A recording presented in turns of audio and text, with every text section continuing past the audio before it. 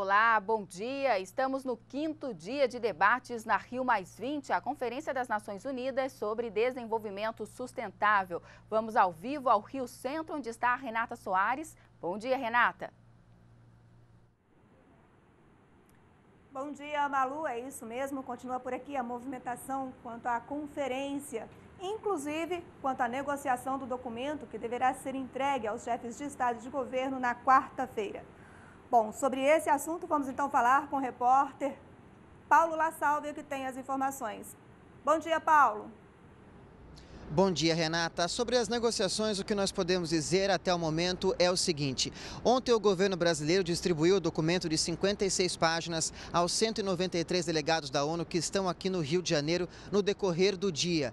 Eles puderam analisar o documento individualmente até às 6 horas da tarde, quando entraram para uma reunião plenária que foi até às 9 e meia da noite. Hoje, desde as 10 da manhã, estes 193 delegados estão divididos em quatro grupos que são os quatro quatro temas divididos pelo governo brasileiro para agilizar as negociações: oceanos, meios de implementação, objetivos de desenvolvimento sustentável e governança. Os delegados vão discutir esses quatro temas no decorrer dos dias de hoje e amanhã. E às 5 horas da tarde, o embaixador Luiz Alberto Figueiredo, negociador-chefe do Brasil aqui na Rio Mais 20, concede uma entrevista coletiva à imprensa para detalhar o andamento das negociações. Renata. Obrigada, Paulo. Bom, e até terça-feira, dia 19, o Rio Centro é palco de debates da sociedade civil. São plenárias que definem temas que serão levados aos chefes de Estado e de governo.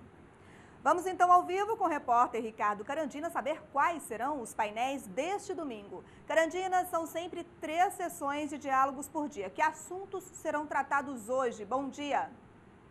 Bom dia, Renata. Bom dia a todos. O primeiro tema do primeiro painel de hoje é a economia do desenvolvimento sustentável, incluindo padrões sustentáveis de produção e consumo. Os dez debatedores deste primeiro painel são dos Estados Unidos, Peru, França, Suíça, Noruega e pelo Brasil. Os representantes são Rubens Recupero, ex-secretário-geral da UNCTAD, a Conferência das Nações Unidas para o Comércio e Desenvolvimento, e também Hélio Matar, um dos fundadores do Instituto Etos. A representante da Noruega é Gro Brundtland, ex-primeira-ministra do país. Ela presidiu em 1987 um relatório encomendado pelas Nações Unidas que definiu o conceito de desenvolvimento sustentável. De acordo com este relatório, esta é a forma de desenvolver a economia preservando os recursos naturais, de forma que as gerações futuras também tenham o direito, também tenham a possibilidade de se desenvolver e de desfrutar desses recursos naturais. Bem, o segundo painel de hoje, já no período da tarde, vai tratar sobre florestas e o terceiro sobre segurança alimentar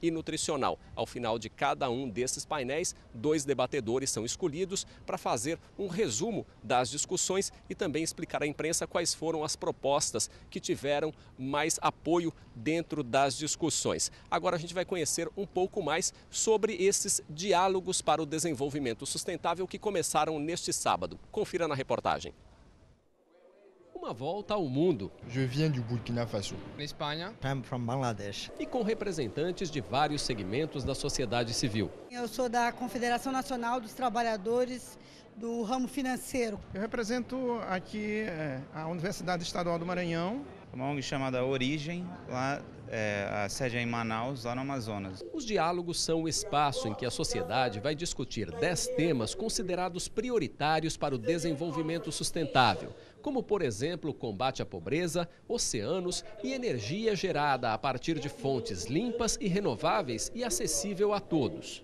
Os diálogos começaram em abril pela internet com mais de 12 mil participantes. O público pôde discutir e votar sugestões. Aqui na Rio Mais 20, continuação desse processo, as propostas mais votadas vão ser encaminhadas aos líderes mundiais presentes à conferência. O primeiro painel sobre desemprego, trabalho decente e migração já escolheu três propostas relacionadas à proteção social ao trabalhador, à educação e à ajuda ao trabalhador migrante.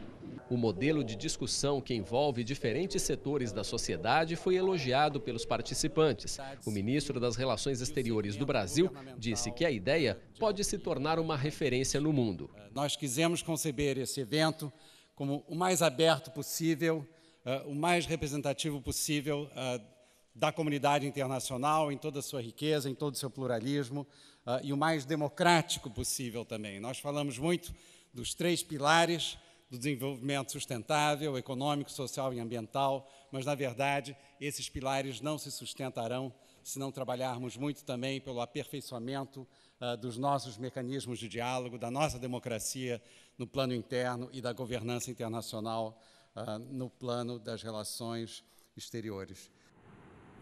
Bom, e ontem também foi aberto um outro espaço de discussão. No Aterro do Flamengo foi montada a Arena Socioambiental, um projeto coordenado pelo Ministério do Desenvolvimento Social e Combate à Fome, mas que envolve outros 13 ministérios e instituições, além de entidades civis. Um espaço de debates e de comercialização de alimentos, artesanatos e cosméticos produzidos de forma sustentável. A repórter Daniela Almeida acompanhou a abertura da arena dia começou com espaço e voz para pessoas engajadas na questão ambiental.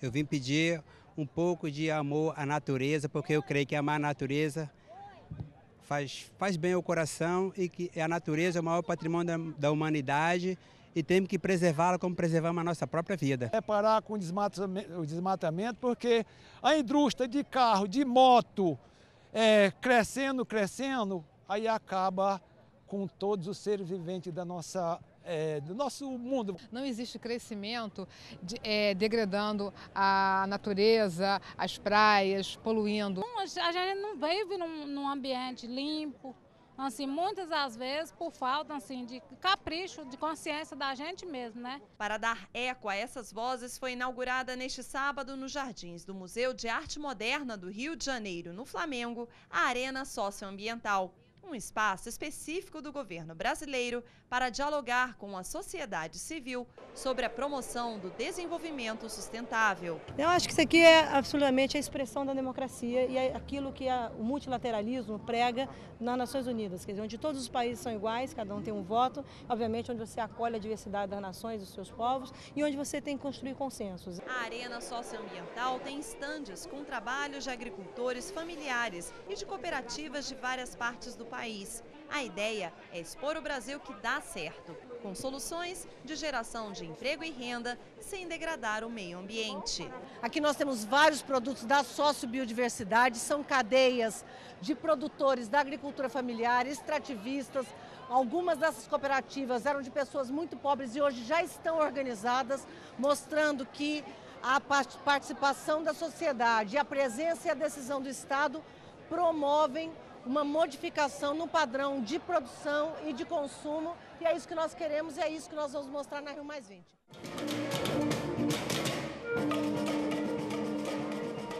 Na abertura oficial da área chamada Encontros Globais, com capacidade de 350 lugares, ministros sentaram para ouvir a sociedade civil. O fato de o governo não querer ficar apenas lá no Rio Centro e vir para cá e fazer essa grande arena na verdade, é como que isso aqui fosse um grande orelhão em que o governo quer ouvir. Até a próxima sexta-feira, último dia da Conferência Rio Mais 20, vão acontecer 14 debates como este, aqui na Arena Socioambiental, inaugurada neste sábado.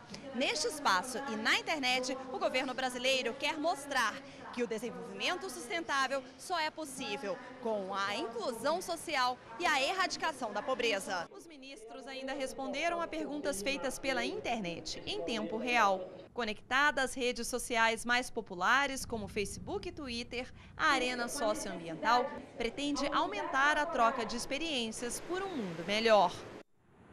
E na quarta-feira, a presidenta Dilma Rousseff chega aqui ao Rio de Janeiro, onde participa da última etapa da conferência, a definição das metas para a garantia do desenvolvimento sustentável no mundo. Lembrando então que podemos voltar a qualquer momento direto daqui do Rio Centro com outras informações sobre a Rio Mais 20. Voltamos agora ao estúdio em Brasília com Malu Prado. É com você, Malu. E nessa segunda-feira começam no México as reuniões da cúpula do G20, o grupo das 20 maiores economias do mundo. E a expectativa é que a posição do grupo em relação à crise do euro. A presidenta Dilma Rousseff está agora viajando para a cidade de Los Cabos. O repórter Adilson Mastelari está lá e tem os detalhes.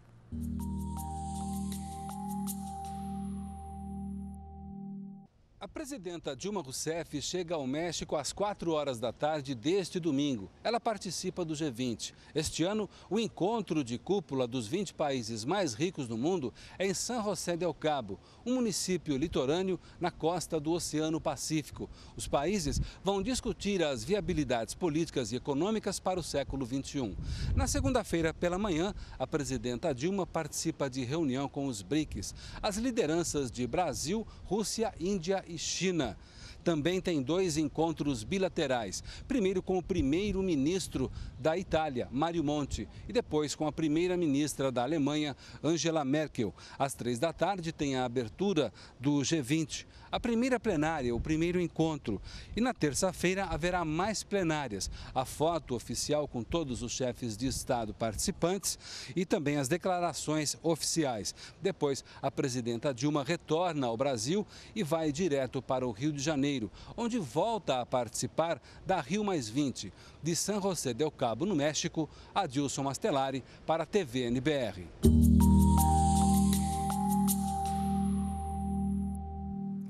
NBR acompanha os dois eventos, o G20 e a Rio Mais 20, com flashes e transmissões ao vivo durante nossa programação. E daqui a pouco começam os diálogos para o desenvolvimento sustentável, com o tema A Economia do Desenvolvimento Sustentável, incluindo padrões sustentáveis de produção e consumo na Rio Mais 20. E a NBR é a TV do governo federal.